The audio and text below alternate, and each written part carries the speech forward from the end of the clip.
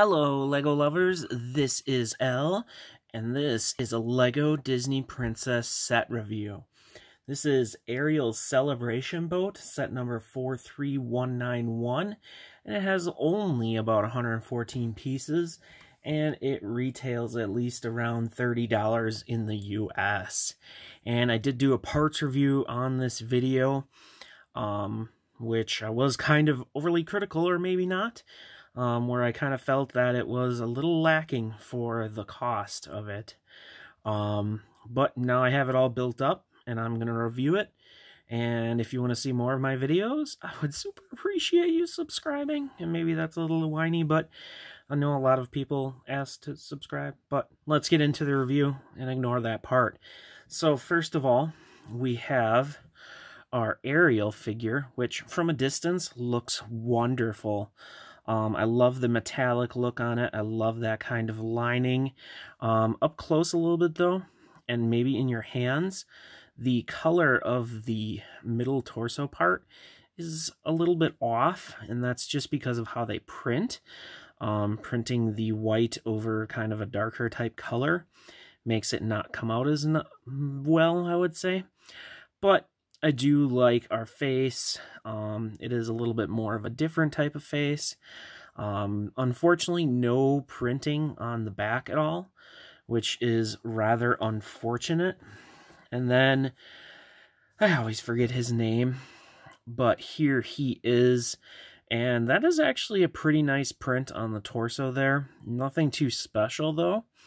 Um, just an overall nice type of figure. Um, and then you can see on the back, there's really nothing going on. But just overall, a very nice male figure for a mini doll. And then we have our doggy friend, which he probably has a name, but I don't remember. A nice print on the face, a little bit of print on his ears, kind of a floppy hair all over there. Just a cute little dog. And we have some other like little accessories. We have our gold trident. We have extra parts, basically, a gold spear. We have a diamond and one of those, like, Lord of the Ring type ring parts, which you can kind of barely see there. Um, and you obviously are getting extras, so you get some extras. We also have this really tiny kind of lame side build of two goblets on just a brick. Kind of really weak. Another small side build is this kind of mirror with brush. And my problem with this is it sits on the ground. That's all it is. Well, how is she going to use it? So unfortunately, you have to find somewhere to put it so you can actually like look at it, which is a little unfortunate. I mean, they could have just put like a couple extra bricks and a plate under it. Um, but that is a print, so it's kind of neat there. It doesn't actually reflect like a mirror. This other part here we have is I almost want to say like a kissing booth, but it is a dancing type little area off of what you could say would be like a dock. Just something kind of romantic. Um, you have a wonderful print, actually. I really like that print. Very crisp and nicely printed there. Um, and then you have this little arch, and like you can see that spins, and you could put the characters on there. I believe they both should fit on there as they just kind of explode everything everywhere. Get them on there. Okay, and then you can spin around like that and they can dance. Um, kind of cute, kind of neat. Uh, I've played around with it a little bit and yeah, it's actually kind of cool. Nice fluid motion on there. And if you want to get insane, you can really go crazy with it and they're probably sick now. But just a cool little feature if you have a kid, that's something that they could play with.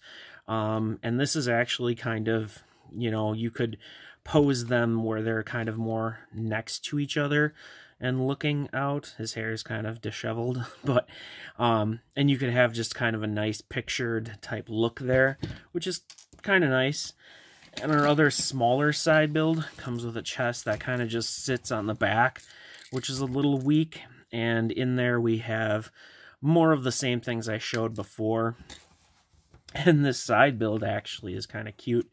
Basically, the band playing, and we got some representation of seaweed, which actually looks pretty nice. We got Sebastian on the keyboards here that are floating in the water. And we have Flounder playing a sax, a phone, and he can spin there too, which probably is just him being annoyed by someone spinning around him to make him sick, which is kind of just a cute little feature. But maybe he's dancing too, going crazy. You know, again, you can really try to get it, and it does stay on, which is pretty cool. But kind of looking closer, those are prints on here. Our Sebastian only has his eyes printed and he just kind of sits on one stud and our Flounder sits on one stud too, but fairly nice coloring and printing for just his eyes, but pretty nice. And I do like how it's like virtually perfect how the saxophone fits in there and he can actually blow on it. It's very perfectly set up. So I actually kind of really like that little band scene on the side, which seems a little silly, but the main build, mostly, here is the boat. And obviously this is a junior set, so you shouldn't expect highly detailed, intricate models. But this is a boat hull, and I believe this one is supposed to float. I may do a video of me trying to show that somehow. Does it float? And kind of experiment with it, because I have honestly never done that with any sort of Lego boat. So maybe that's something to play around with. But to the actual boat, we have on each side this kind of emblem, which is a printed piece, which looks really nice. I do love the printed pieces in this set. Then we kind of just have some ornamentation up front here for the boat. You can have figures standing there if you so want. Um, we have a steering wheel to represent, you know, steering it. Flags kind of flowing off, which look kind of nice. Um, I think this can come off fairly easily. Yep. And if you wanted to put stuff in there or characters or whatever, you could.